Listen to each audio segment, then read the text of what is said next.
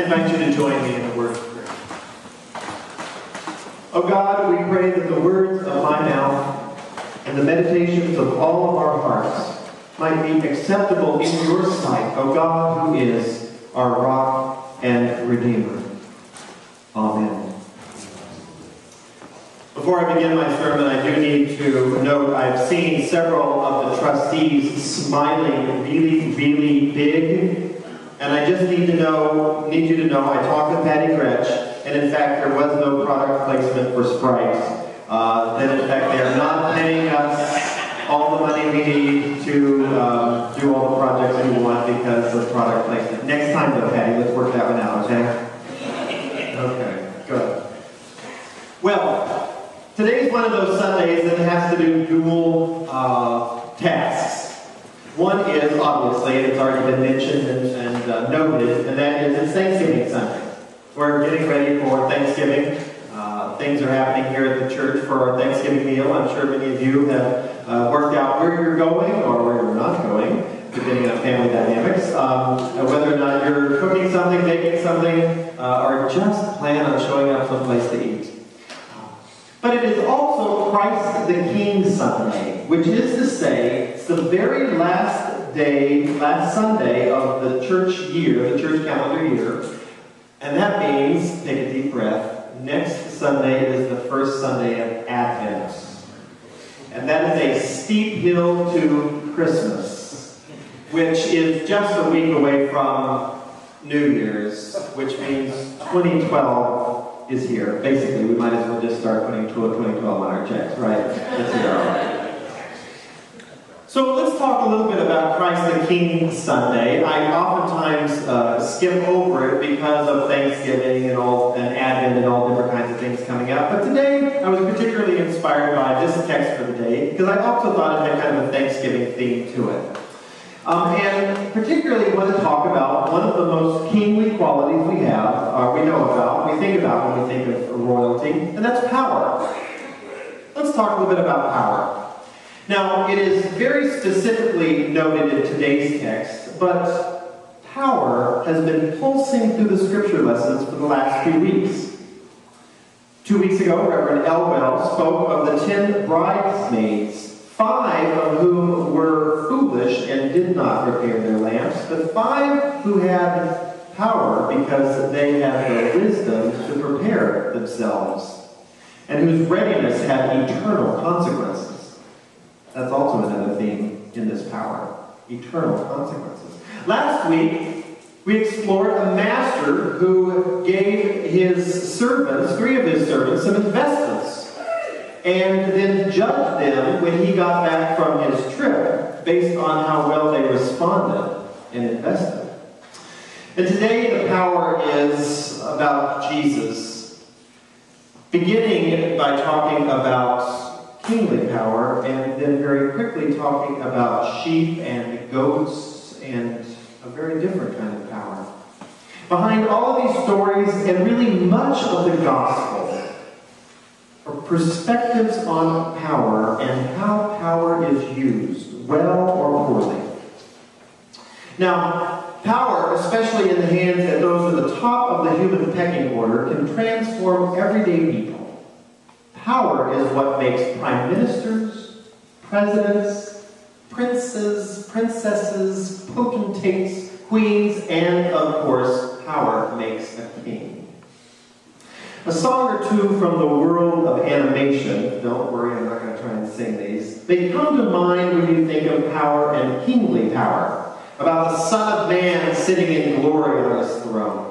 For those of us who are in the over 40 age range, we might be prone to think about the words King Louis sings to Mowgli in Jungle Book. Now, I'm the king of the swingers, of the jungle VIP. I've reached the top and I've had to stop, and that's what's bothering me. I want to be a man, man cub, and stroll right into town and be just like the other men. I'm tired of monkeying around. A real thirst for power. Power beyond what he had. And if you recall that story, that power which gets out of hand is the power of fire. Now, if we're the under 40 crowd, we might be more prone to quote a line or two from The Lion King when the young Simba sings uh, to Zazu the hornbill. I'm going to be a mighty king, so enemies beware. I'm going to be the main event like no king was before. I'm brushing up on looking down. I'm working on my roar. Oh, I just can't wait to be king. Again, another kind of desire for power. Maybe even a little bit of a thirst for power, even if Simba didn't understand the ramifications of that power. In both of these instances, King Louis and Simba represent not only those who yearn for or have actual power and exercise it in high places, but I need you to hear today, they represent you and me, everyday folks, because every single one of us has God given power. And we use our power daily. And what I expect is that most every one of us thinks at one point or another that just a little bit more power might be helpful. Maybe a little bit more power might make us move up to a better place a more effective position, or at least just a little easier life. Ever thought about that? Just a little more power. I'm not asking for the world, just a little more. Now, these past few months, I'll admit to you, I have been feeling a little down on myself. No, no special reason, really. Just feeling a little down on myself.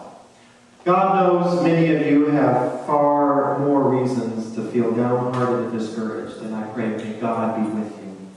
But my minor aches and pains are mine. My winter doldrums are mine. My everyday sort of frustrations may hardly worth noting to someone else, but they are my everyday frustrations. And I will confess to you, I have spent a little bit of time thinking about what it might be like to have just a little bit more power. Now, I don't usually put it into those terms. Usually I say, maybe I could just have a little bit more time. Maybe, maybe a tad bit more money. Maybe a smidgen more authority, a, a dash more of recognition or respect. That's all I need to, to get the leverage to pick myself up, a little bit, improve my lot, and make the sun just shine a little brighter. Now, my experience has been that when somehow those things do drop, drop into my lap, I'm looking to the next level. Just a little more power, God, and things would be even better. Amazing how that temptation goes. Now, I'm not saying any of you would think this when you're down and out. I know this congregation actually is much better than me on some of these issues.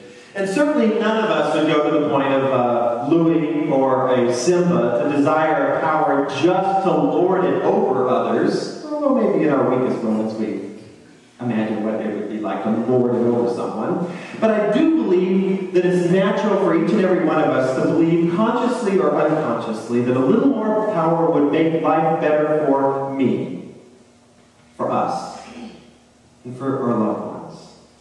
And who could begrudge a person for wanting just a little more power to help out one's family?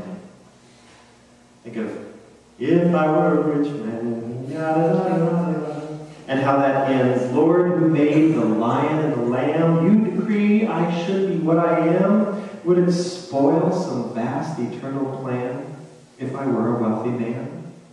Dead from Fiddler on the Roof. So amidst all this stuff going on in Broadway and animation and Disney and in my mind and our hearts, in walks Jesus, all fine and dressed up. In walks Jesus. Not just any Jesus, but King Jesus. Throughout the Gospel of Matthew, the author seeks to help us, those who read his works years later, to understand this Jesus of Nazareth through the lens of power and authority.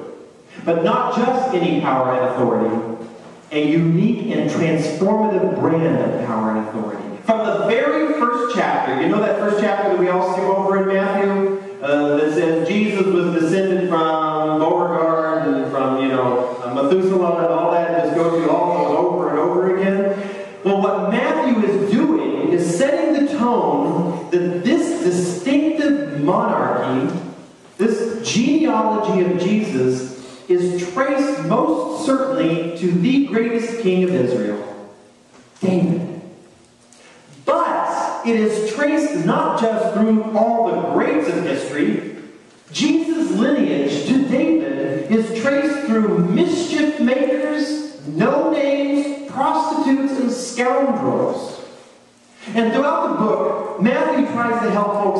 this unassuming figure who teaches on the hillside with great authority, this, this very gentle soul who heals the sick and exorcises demons, who walks on water and multiplies loaves and fishes, who sets the little children on his lap and says they will hearken the commonwealth of God. In fact, this is the king they've been waiting for all along though they have been watching for other signs. It's a tall task because this Jesus of Nazareth is not your typical king, and maybe that's exactly why he has the power to change the world. Because we know how typical kings and presidents and prime ministers work. Today's scripture text is the culmination of several chapters and numerous parables about Jesus that are intended to prepare us for a very different kind of reign. And the one we are, rather than the one we are primed for by earthly powers. Whether it was the court of Pharaoh in ancient Egypt, the cult of Caesar in the Roman Empire, whether it was the British Empire or the Congress and President of the United States of America, try as hard as they may, no earthly power will properly prepare us for the power of God, for the power that we will honor and be invested in God's reign is fully realized. Jesus is the only one that can prepare us for this ultimate power. So let's talk about what kind of power will that be. Well, Matthew relates Jesus' parable in such ways that pinpoint the differences. It begins with all the pomp and circumstance of any other king when the Son of Man comes in his glory, and all the angels with him, then he will sit on his throne in all glory. Now, if we were looking for an earthly king, just like the ones that we know about, this would perk up our ears. This is the kind of king we've been waiting for. This is the king that is actually going to transform our world. But almost immediately, the image of regal authority begins to meld with, or more aptly, it crashes into the pastoral image of a shepherd herding sheep and goats on a hillside. From king on a throne to shepherd on the hillside in two short sentences, it makes your head spin. And this powerful transition should not be lost on us. Jesus is preparing us for a different kind of power. And of course, the heart of this story is in the actions of King Shepherd Jesus as he begins to separate the sheep from the goats. The allegory is made very stridently that the sheep represents those who in their lifetime serve the Lord by caring for others. Those who are hungry, thirsty, a stranger, sick, and in prison. The goats, on the other hand, were those who did not do such things for the least of these and therefore did not do it for Jesus. And the parable ends with a very powerful and terrifyingly monarchical dictate. And these will go away into eternal punishment. Jesus wants us to know there's something serious going on here. This is very unlike Jesus to talk in this kind of language. As if those who did not do the will of God would be cast into the dungeon of the castle and the key thrown away. The sheep, happy and righteous, and living into eternal life. Now, lest our modern limited knowledge of sheep and goats make this text too easy and simplistic, I did a little bit of research, research, research, research on sheep and goats. Say that five times fast. And I discovered that the difference between sheep and goats is not as clear as our stuffed animals in our toy stores might lead us to believe. First, goats are pretty darn useful. Actually, you can get meat and wool and milk from goats. And then I learned something, I've never been around sheep and goats, that they don't always look as different as we might think they are. Actually, there's a lot of varieties of sheep and goat that look pretty close to each other. Apparently, there's such a thing as a bighorn sheep that looks an awful lot like a goat, and there's a cashmere goat that gives wool like nobody's business. So separating them might have been a little tougher than we think. Jesus might have actually had to take a little bit of time figuring this one out. That gives me a little hope. So what do we, everyday people, just trying to get by with the minor aches and pains and frustrations of our lives, do with this odd understanding? This dual image of king, shepherd, or shepherd, king? Well, here's some things that I'm going to work. First and foremost, we must realize that every single one of us has power, and we all must use it wisely. The parable could just as easily have talked about more royal responsibilities such as treaties, uh, discerning treaties with nations, or collecting taxes, or authorizing major public works, the kind of normal kingly sort of things. But Jesus didn't. He gave us very simple acts that anyone can do. Give someone food. Give someone a cup of water or Sprite case. Give someone a piece of clothing.